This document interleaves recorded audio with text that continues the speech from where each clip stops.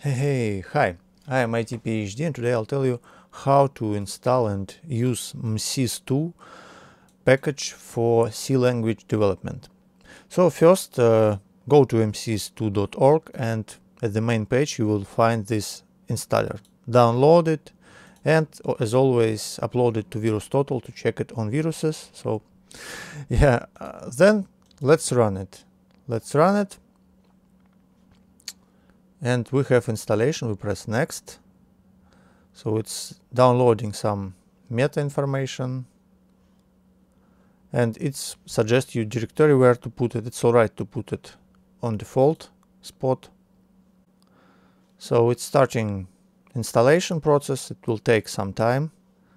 Finally installation finished and we can run it immediately.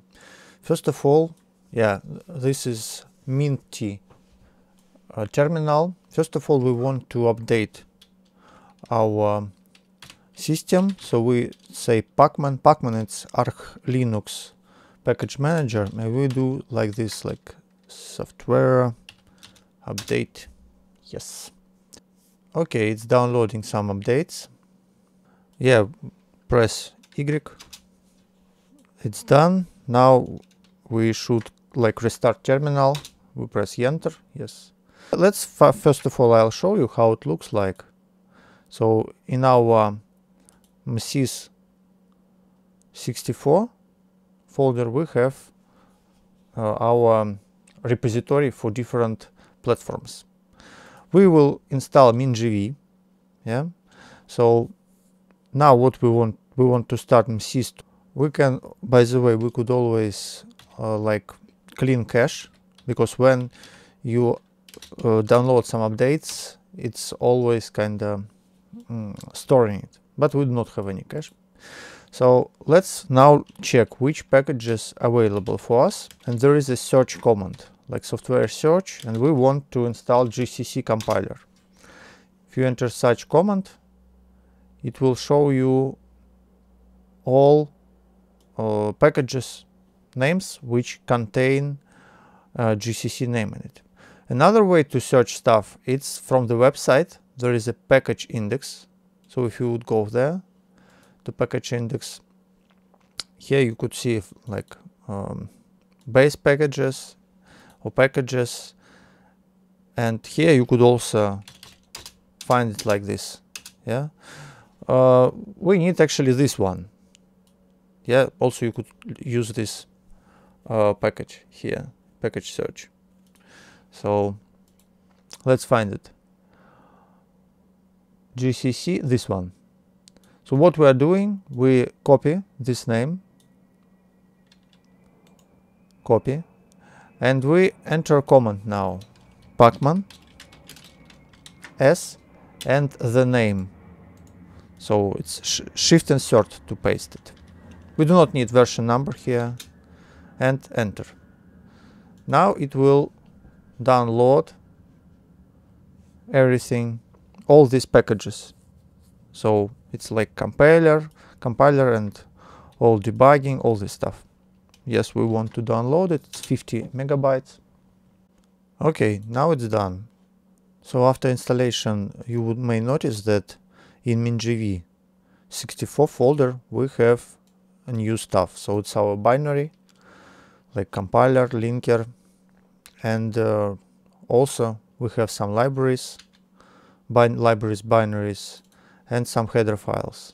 So first of all we should go to the path to windows path system environment variables and add binary folder to environment variables. Click on it then click on path edit add new one and browse so we go to C, MSys64, MinGW64, bin.